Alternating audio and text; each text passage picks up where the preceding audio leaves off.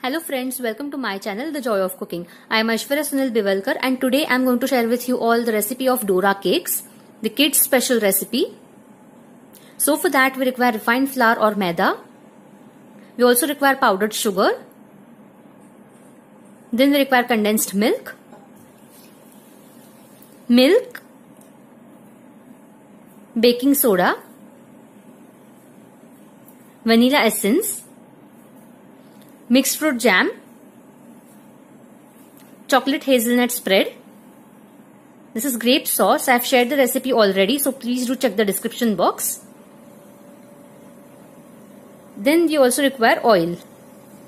Now in the mixing bowl I'll take refined flour or maida.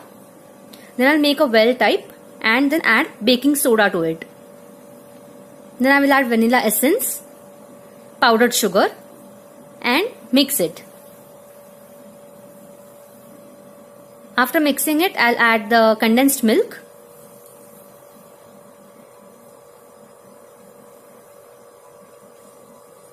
And I will whisk it nicely. Let it combine nicely.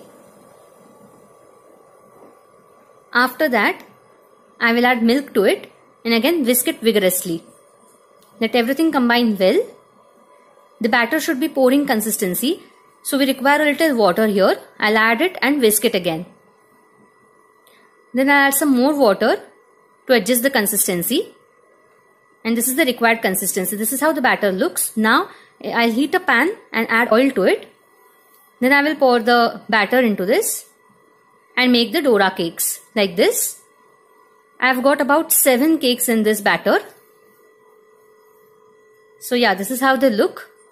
I'll prepare all the Dora cakes now. And now once they are done, I'll just spread the uh, mixed fruit jam on one of the Dora cake and sandwich it like this with the other one. Then here I will add the chocolate hazelnut spread. And then I will top it with another Dora cake. Here I will add the grape sauce. And this is how our Dora cakes are ready. So yeah, please do like my video. Also subscribe to my channel, The Joy of Cooking. I will see you next time with some more exciting recipes. Till then, stay tuned. Thanks for watching. Bye-bye.